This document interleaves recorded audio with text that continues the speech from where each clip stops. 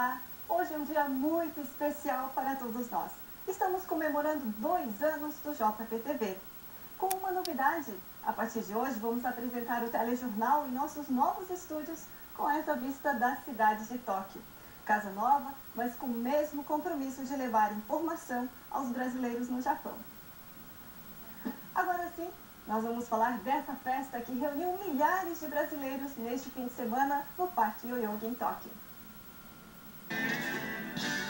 Longe de casa há mais de uma semana. Milhas e milhas distante do meu amor. Letras de uma canção que tem tudo a ver com quem deixou amigos, parentes, família no Brasil para atravessar o mundo. O Brasilian Day deste ano foi mesmo para matar as saudades.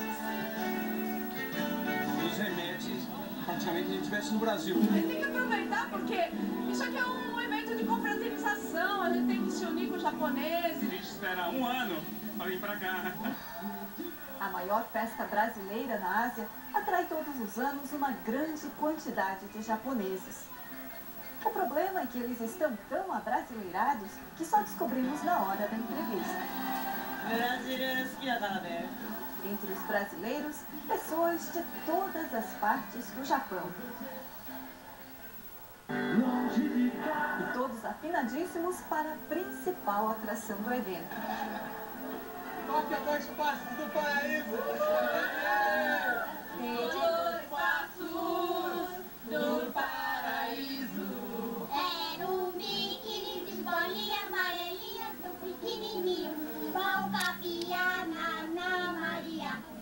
Outra qualidade do festival é que ele tem o poder de unir duas culturas muito diferentes. Uma completa a outra. Os japoneses ensinaram a ordem. E nós, a alegria e a sensualidade contagiante do samba.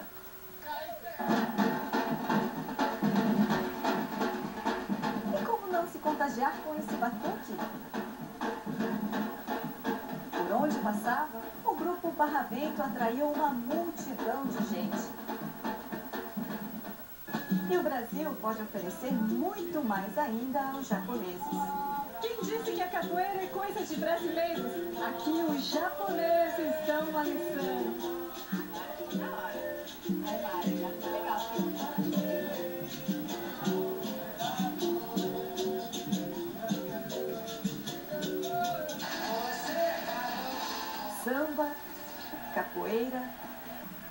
Intercâmbio continua no palco com a música. No palco também, os artistas da comunidade. Eu tava, eu tava na expectativa, assim, né? Eu disse, Meu Deus, o que, é que será que me espera? Mas Deus sempre tem alguma coisa boa guardada pra gente que acredita nos nossos sonhos, né? Eu acredito no meu e tô indo até o fim. Esse foi domingo. Casanova, ganhador do mais famoso concurso de karaokê do Japão. Esse foi sábado. Brasil com a vocalista Nerô e sua voz forte e marcante.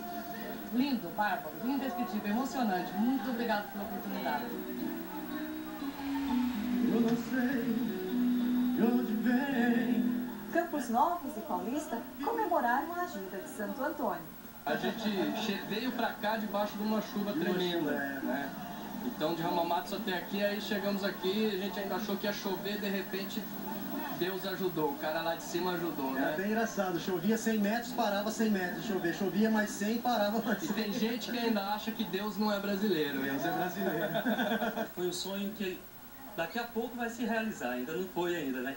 Mas o coração já tá batendo a mil aqui, até agora há pouco tava bem tranquilo, tava meio levando pro lado assim, fazendo de conta que não tava acontecendo. Mas a ficha tá começando a cair, tá batendo forte mesmo.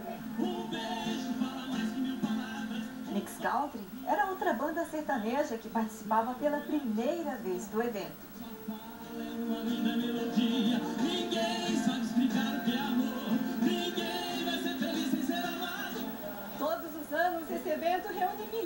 Milhares de pessoas que vêm aqui com compartilhar a alegria e o calor do Brasil.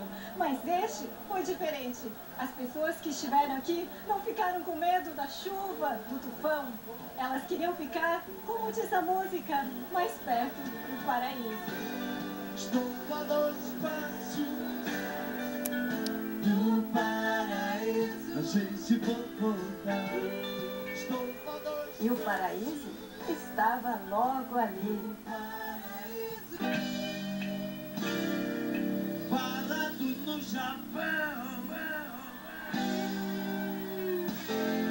Nenhuma alma viva. A banda Blitz, que marcou toda uma geração nos anos 80, teve a magia de transportar toda essa multidão a um lugar distante, único, eterno.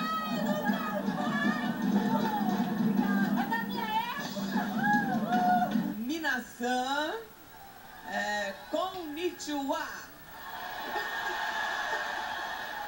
Okite, okite menina, acorda menina. A banda dividiu o palco com a apresentadora Ana Maria Braga.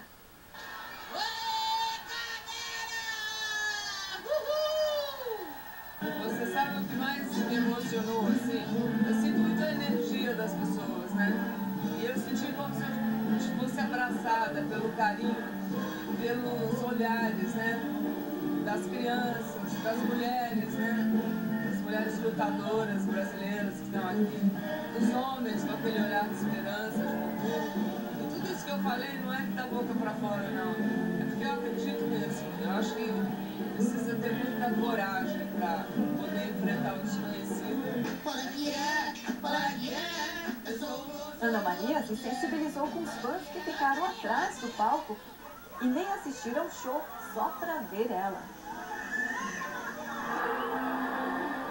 Já essa multidão não tinha quem tirasse eles da frente do palco.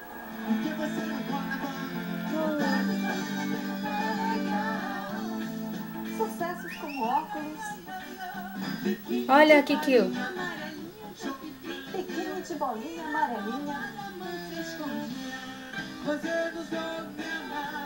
Soube me amar com acompanhado sem coro. Diz, Japão. Hoje eu acordei muito emocionado com a honra e o privilégio de tocar aqui. No final, Evandro Mesquita se emocionou ao deixar sua mensagem. Dedico essa canção aos que perderam amigos, parentes e também aos voluntários que ajudaram a atravessar esses momentos de turbulência e aos que estão longe de casa e continuam acreditando nos seus sonhos. Emoção que contagiou a todos e já deixou saudades da festa. Você levou todo mundo aqui a dois passos do paraíso. Poxa, então eu fiquei a um passo, a um milímetro do paraíso. Foi emocionante, foi histórico, assim, saber do carinho que as pessoas têm com músicas de 30 anos atrás e receber essa vibração de, de amor. Foi sensacional. Estou assim, levitando, emocionado e iluminado. É a primeira vez, Evandro, que você está no Japão? É a primeira vez que eu estou no Japão. Como eu falei lá, deixei meu coração aqui no Yoyogi Park e quero voltar para buscar ele. Ana Maria Braga! Depois disso, só falta concluir.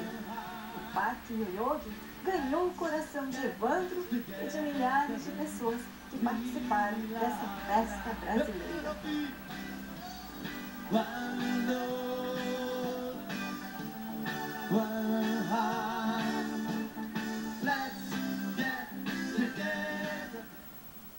Com certeza, uma festa inesquecível.